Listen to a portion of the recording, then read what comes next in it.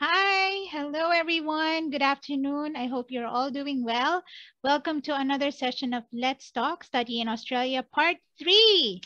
Hi, Yay. hello LA. Hello, good afternoon. Yes, so we're back again. My name again is Monette. Joining me today to discuss our Part 3 episode is LA, our education counselor at Career Consultants Network. So, Start na tayo, LA. Balikan natin yung next question natin. Um, so last time we discussed about the study option online without a visa. So today, please let us know naman more information about dun sa with the visa option. Sure, Mo. So this option, um, if you can remember, last last episode dati na pag-usapan natin that that study option is fully online and it doesn't require any visa for you to start the course. Okay, so kahit walang passport, you just enroll, but whatever you study will be credited towards um, uh, another qualification kung sakaling gusto mo siyang i-pursue, say for a higher higher education uh, or further education later on dito sa Australia. Now, this second option is actually um, a course requiring a student visa. Eh, but dahil nga sa border closure, you can actually start studying online din. And whatever you study online will be parang credited or um, kung halimbawa your course is for a year or for two years, depende, whatever you have studied online, if you already have a visa, um, it will be um, counted towards that. So credited siya all in all, parang ganyan. Kasi alam mo mo, um, this is critical to those na mga higher education degrees like bachelor, master's, postgrad, uh, sorry, PhD, and mm. yung mga vocational courses na eligible for what they call yung post-study work visa. I don't know if you've heard about it, but it's actually um, parang privilege, bonus yan ng Australian um, government to international students who completes a higher education degree or a vocational course na eligible, kumbaga nasa skills list nila katulad ng chef, yan, yung commercial cookery courses. Mm-hmm. Or yung mga early childhood education educators kapag nag-aral ka mm-hmm. ng early childhood education, yung mga ganyan. So yung IT, meron din yung mga network security specialist, parang ganyan. So sila, kapag natapos yung course nila, as long as it's a two-year course, um, vocational, and then same thing with the higher education, you can be eligible to apply for a post-study work visa, which allows you to stay here in Australia and live here, work full-time for 18 months para sa mga vocational courses, and then minimum of two years for the postgraduate courses and mm-hmm. undergraduate yung mga bachelor degrees. Oo. Mm-hmm. So yun. So kung for example, um, ikaw mo, kunwari, you want to work to uh, to study here master's degree. So, mm-hmm. for example, ngayon nag-enroll ka na, you will start November, for example, and then um, um, hindi ka pa makapunta ng Australia kasi right. sarado pa nga yung borders.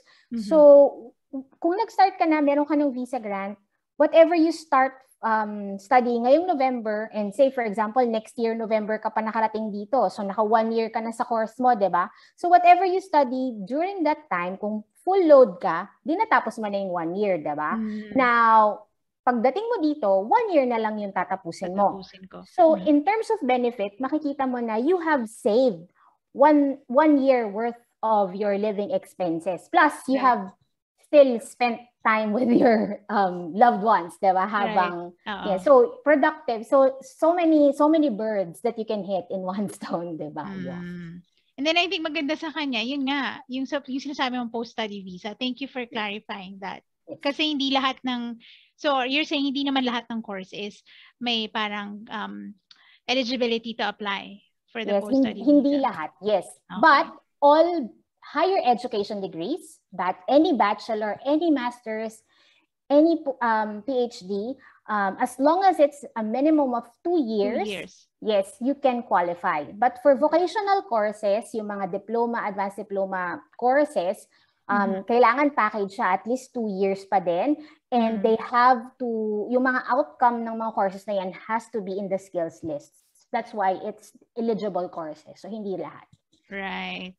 Okay, I think maganda pa rin siyang option. And can we also share with them a little bit, LA, tungkol sa new announcement Yes. about sa pilot program. Yes, sa, and yeah, um, clarify ko lang din mo na this announcement is actually for um, New South Wales. New South Wales. So yes, so it's an initiative by the New South Wales government and yung mga education providers dito, dito sa New South Wales and they have approved itong petition nila for a pilot program to for international students to already come here in Australia. So they have recently announced na by December um, there will be 250 students, international students will be allowed to come in Australia, in New South Wales, every Mhm. fortnight, so every two weeks, kasi they will stay in a quarantine facility. Right. Um, and then um, yung charter flight, parang all students lang, parang ganyan.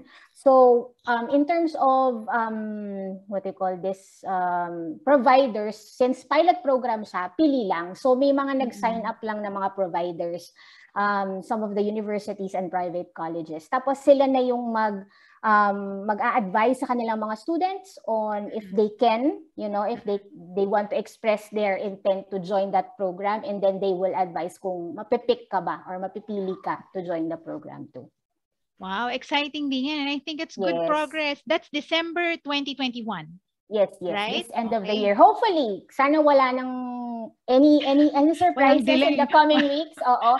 But so far, it's on track kasi you know that our school partners have also been updating us that they're already started um, Right. you know informing our students if they want to express their interest to join the Mm-mm. program. So it's really good news for everyone. Yes. Okay. And gusto ko lang idagdag. So guys, um, because we're talking about the visa, it's also, I think this is a good um, opportunity or a good um, key point why you should consider applying for a program and applying for a visa as well. Para maging parte din kayo nung priority list. Hopefully, sunod-sunod na yan until 2022. Until Yes, maging true. normal na tayong lahat. That's And true. I think, speaking of uh, quarantines, ganyan, um, important din na vaccinated tayo when we're applying for this program. And Yes. we're happy to say that Sinovac is also um, uh, Approved. approved. approved vaccine ng Vaccine CGA o yung parang FDA parang FDA ng Australia. Mhm. So um Sinovac, an- ano pa ba yun? Johnson and Johnson, Astra and then Pfizer. Yan. So it's good. Ngayon lang actually recently lang na-add si Sinovac. So Na-approve. good news. Tama. Yes. Nakapasok. Anyway, guys, I know na marami pa kayo sigurong gustong malaman tungkol dito sa announcement, announcement na to. Uh, We did make a post on our Facebook page and um, you can also visit the website of Study New South Wales to learn more about this pilot program. In the meantime, I think we've covered our part three today and LA. Thank you very much for what you've shared to everyone. And I hope you found this session short and productive. We hope to see you again in our next uh, talk. And um, for in the meantime, happy Friday or happy weekend. Stay safe, everyone. Bye. Thank you. Bye.